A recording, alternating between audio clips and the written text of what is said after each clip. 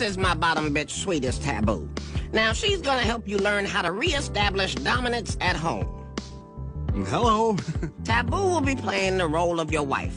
Now, approach Taboo, grab her arm firmly, and command her to leave with you. okay.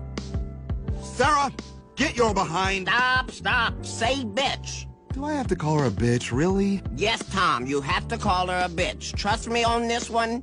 I've done the research. Now try again. Bitch, get your behind. Ass.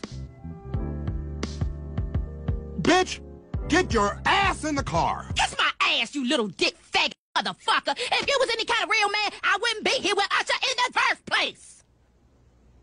Wait, hold on. I, I don't think that's what Sarah would say. It's now tragically obvious that reasoning with the bitch is not gonna work, Tom. You have to hit her. I'm an assistant district attorney, for Christ's sake. Tom, you have to get past this. It's okay, babe. Really? See, fact, she just gave you permission. Ah!